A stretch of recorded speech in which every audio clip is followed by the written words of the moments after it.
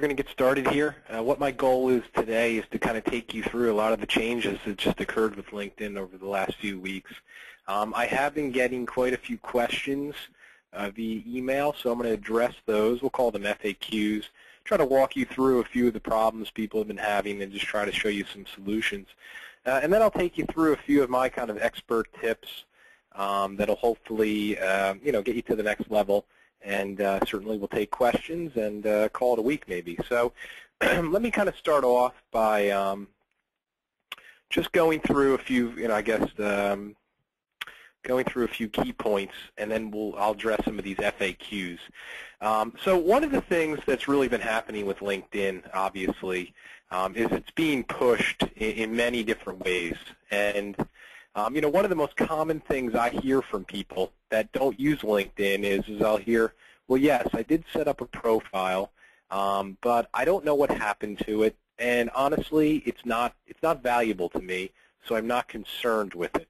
And I think what the problem is for anyone on this call who's kind of what we'll call a beginner, the problem is is once you get started, there's kind of no turning back.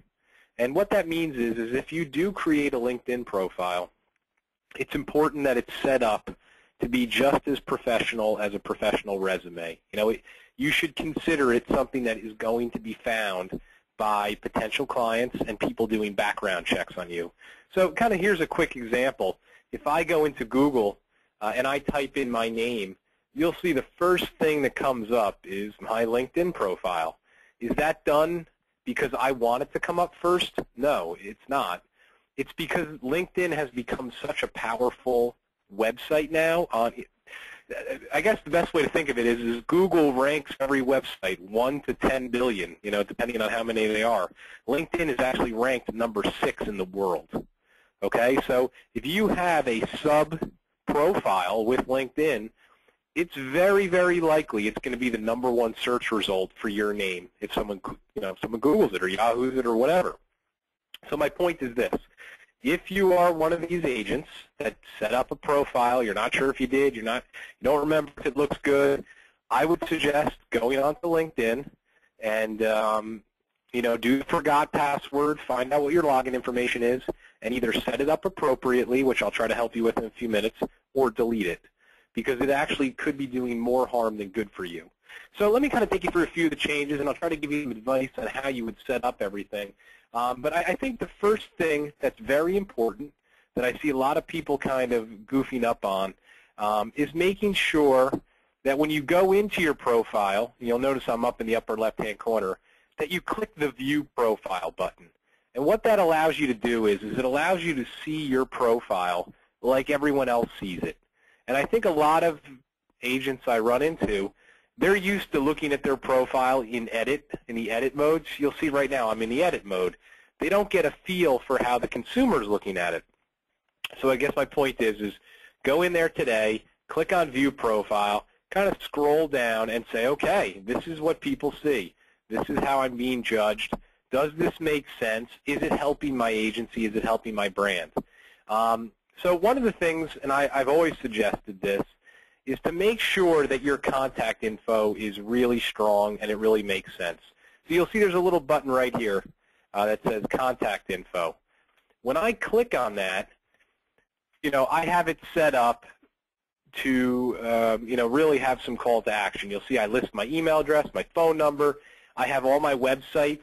And not only do I have my websites, the websites are descriptive. They actually say insurance agent technology, free social media insight. I get more clicks because of that. And I guess my point is, is if you just have the default settings, it's just going to say company website. You really should change it. Um, you should really change it so it's more enticing to click on. You should really make sure you have an email address there. You should really make sure you have a phone number. The most common kind of fight back I get is, is I don't want my email address found by other people. I'm going to get spammed. You know, in my opinion, I would take five people spamming me for one new client, you know.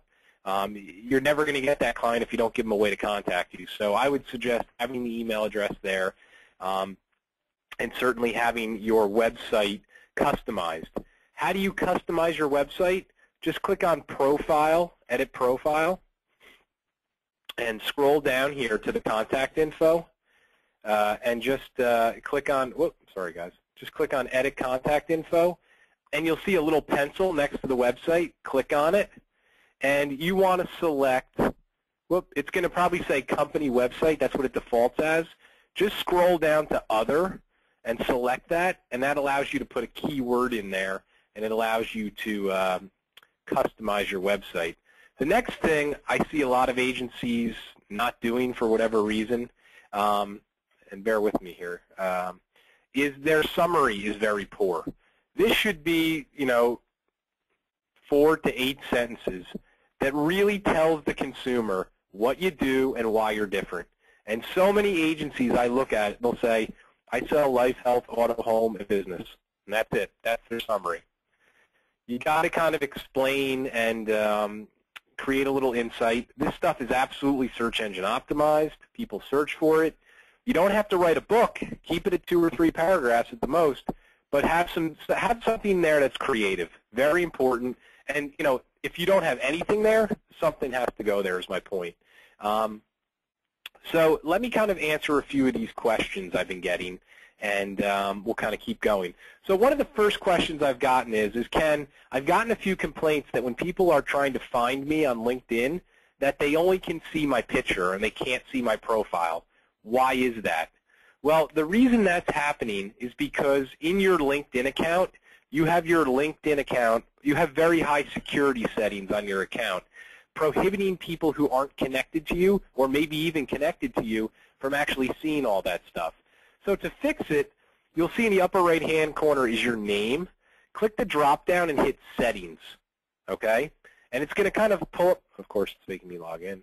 Um, you need to then, once you go in here and log in, um, you need to go down to the bottom here where it says Privacy Controls. And um, you'll see that you want to you want to be able to click on um, select what others see when you've you know viewed their no sorry wrong one. Select who can see sorry change your profile photo and visibility. That's what you want to click on. So you want to click on it and make sure that everyone is selected okay that's a common thing I think it defaults to my connections you want to choose it to everyone um, it's going to obviously give you uh, um, it's going to give you more visibility. Uh, so I see a question that came in. I'll answer it now. Um, if someone gives us a recommendation on LinkedIn, is it expected generally, are you expected generally to give one back? Uh, good question. Um, you know, I, I, think at the end of the day, if you can give one back, that's a, a true, honest, you know, recommendation, and like use, you know, go ahead and do that. I, I guess here's my thought process. You may be their agent of record for their company, but you may not use their company. So I, I wouldn't just write up a recommendation, oh, I know Bob, he's a great guy, I'm his insurance broker. But if you actually use Bob's, um, you know, his building company and he, he built your kitchen, well, then you'd write a recommendation. I would just say common sense. Uh, if you write a recommendation, you want to, you know, you want to return the favor in a very professional manner. So that would be my, uh, that would be my suggestion. So next common question I've been getting is, is, well, Ken, I'm getting a lot of emails saying people are endorsing me. What does that mean, and why is that happening? Good question. Well, as I mentioned, LinkedIn really, um, you know, really changed their profile a little bit over the last few months. And one of the things they've added are these skills and expertise. And you're looking right now at mine, and you'll see I only have four listed. I got social media marketing, insurance, web design, lead generation. And you'll see that 81 people have actually endorsed me for social media marketing, 75 for insurance, 32 for web design. So my point is, is if somebody comes to my profile and clicks on, you know, endorse Ken for social media marketing, boom, I get an email too. Okay? So it's kind of a three-folded answer. Step one is to go to Profile, Edit Profile, and to make sure that you actually have your skills listed. And if I kind of scroll down here, um, you'll see them. And there's a little pencil here. You click on it. You can add as many skills as you want. One of the, I guess you can add actually up to 50 skills. My tip and my suggestion is don't have more than maybe five, five to 10 at the most.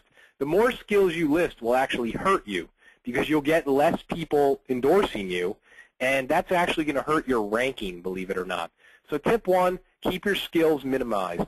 Tip two, you don't want to be general with your skills. You, know, you don't want to say health insurance. You kind of want to say, you want to be more detailed. And here's why. One of the newest fads on LinkedIn is you'll see under more is a thing that says skills and expertise.